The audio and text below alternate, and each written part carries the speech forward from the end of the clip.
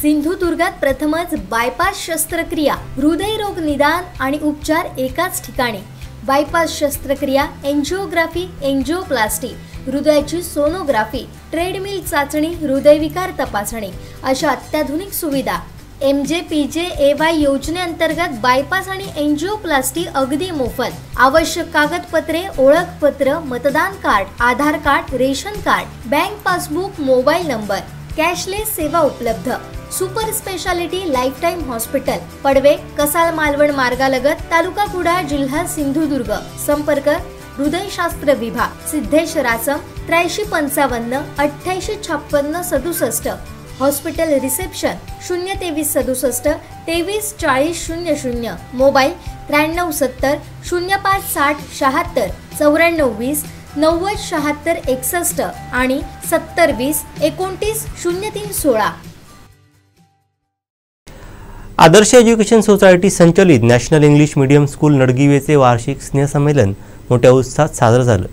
या कार्यक्रमासाठी प्रमुख सिनेकलाकार हार्दिक जोशी आणि अक्षया देवधर जोशी यांची खास उपस्थिती होती. पाहूयात. नमस्कार. नॅशनल इंग्लिश मीडियम स्कूलच्या ॲन्युअल डेसाठी आज आम्हाला इथे बोलवल्याबद्दल सगळ्यात आधी सर्व आयोजकांचे प्रायोजकांचे मनापासून आभार मानते मी. कारण माझं गाव खारेपाटण आहे आणि कुरंगवणे हे माझा आजोय आहे. त्यामुळे इथे वरचेवर येणं होतं परंतु खरंच सांगते इतक्या चांगल्या पद्धतीची शाळा इथे आहे हे मला माहिती नव्हतं आत्तापर्यंत. आणि मला खूप छान वाटलं की अशा छोट्या छोट्या गावांच्या मध्ये ही इतकी छान इंग्लिश मिडियम स्कूल इथे उभारली गेली आहे आणि इतके वर्ष ही इतक्या चांगल्या पद्धतीनं रन होते आणि आज आत्ता आपण जे काही बघितलं की काही मुलांसाठी अभ्यासासाठीची टूर इथे मुलांना गिफ्ट करण्यात आली आहे. ही खरंच खूप वाखाणण्याजोगी गोष्ट आहे. हे सगळीकडे होत नाही. मी पहिल्यांदाच हे सगळं बघितलं आहे त्यामुळे मला खूप छान वाटलं की मुलांच्या अभ्यासक्रमात असं काहीतरी प्रॅक्टिकल नॉलेज त्यांना देण्याचा प्रयत्न केला जातोय कुठल्या तरी शाळेतनं.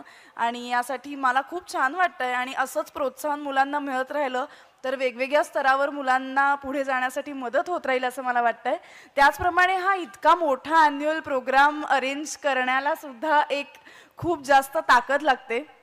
ती ताकद आज सरांमुळे मिळाली आहे असं मला वाटतं. आणि असेच प्रोग्राम वर्षानुवर्ष या शाळेत व्हावेत आणि या शाळेतली मुलं नक्कीच शाळेचं नाव उज्ज्वल करतील याची मला खात्री आहे. आणि थँक्यू सो मच की आम्हाला तुमचं प्रेम कायमच मिळत राहतं. त्यामुळे आम्हाला आज या शाळेच्या माध्यमातून पुन्हा एकदा आमच्या ऑडियन्सला भेटायची संधी मिळाली.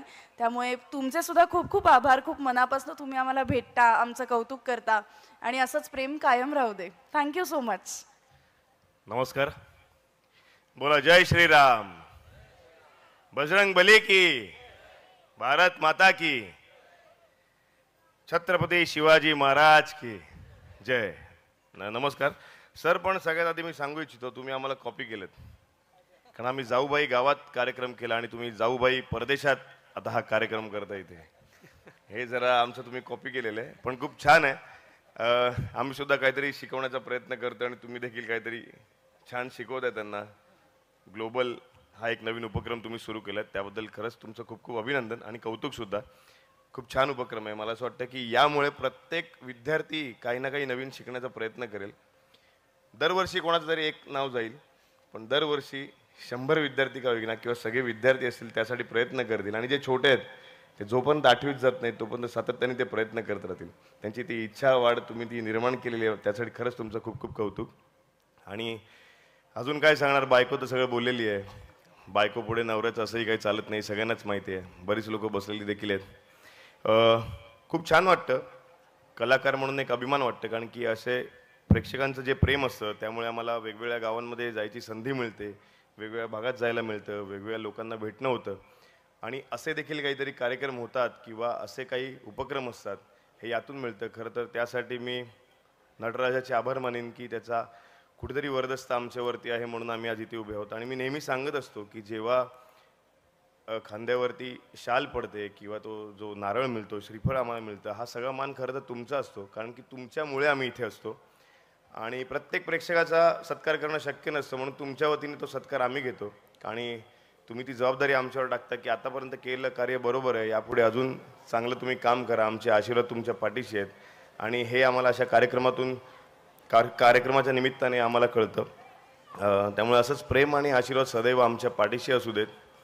खूप छान उपक्रम आहे हा आणि इथे बोलवलं मनोज सर त्यासाठी खरंच आभार आहे आम्ही. आणि ऑरेंज ज्यूस गँग तुमच्याबद्दल मी आज स्पेशल बोलणार आहे खरंच.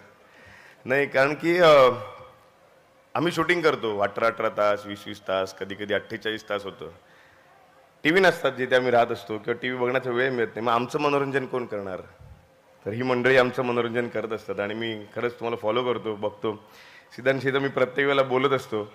आणि मला असं वाटतं की खूप अभिमानाची गोष्ट आहे कारण की एखादा हिंदी सिनेमा आपण मराठी माणसं बघायला जातो पण जेव्हा हिंदी सिनेमा मराठी माणसाकडे येतो प्रमोशनसाठी त्याच्यापेक्षा मोठी गोष्ट काय असेल?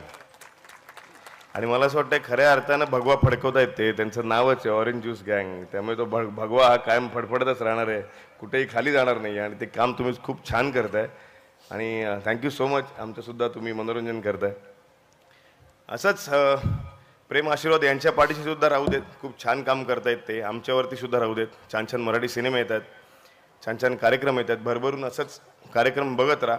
कारण की प्रेक्षक जर कार्यक्रम बघायला गेले प्रेक्षकांनी आमच्या कलाकारांना बघितलं तर प्रेक्षक आहेत म्हणून कलाकार जगेल. त्यामुळे ती महत्त्वाची जबाबदारी तुमची आहे. तर ती करत राहा. आणि उद्या आमचा फिनाल आहे जाऊबाई गावाचा तर त्याच्यात तुम्हाला कळेल की आम्ही कोणाला विनर केलेलं आहे. आता तर ह्यांनी आजच विनर सांगून टाकलेलं आहे. तर उद्या विनर आम्ही डिक्लेअर करणार आहोत. तर नक्की तो कार्यक्रम तुम्ही बघा. आणि छान वाटतं. असंच प्रेम आशीर्वाद सदैव पाठीशी असू देत. काय चालतंय ना व? अहो चालतंय की म्हणायचं असते. हो काय चालतंय ना व? अहो चालतंय की. धन्यवाद. नमस्कार मी नील सालेकर.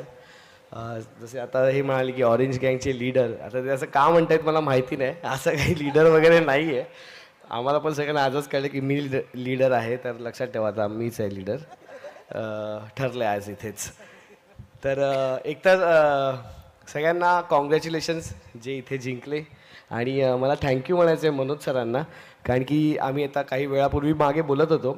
तर तुम्ही हे जे काय करताय ह्या शाळेसाठी आणि ज्या पद्धतीचं म्हणजे बाकी सगळ्यापेक्षा मला ते तुमचा जो त्याच्यामागचा जो विचार आहे की ह्या गावात ह्या ठिकाणी मला मुलांसाठी अशी संधी उपलब्ध करायची आहे जे उद्या बाहेर गेले तर त्यांना ती ती कमतरता वाटणार नाही की अरे आम्ही हे सगळं मुंबईतल्या मुलांसारखं बघितलं नाही. तर ते सगळं जे तुम्ही करताय हे हा विचार मुळात खूपच मला छान वाटला. आणि बाकी तर तुम्ही ॲक्च्युली चांगलं करताच आहात पण हा विचार ह्या काळात ठेवणं आणि आपली जी आपण पर्सनल आपलं काम असतं बिझनेस असतो त्यातनं एक वेळ काढून ती एनर्जी इथे लावणं ही सगळ्यात मोठी गोष्ट आहे. आणि अशी फार कमी माणसं आता उरली आहेत आणि तुम्ही वन ऑफ द जेम्स आहात असं मला वाटतं. आणि तुमच्याकडनं खरंच इन्स्पिरेशन घेण्यासारखं एक फिलिंग आली की अरे किती सु- सुंदर तो थॉट होता.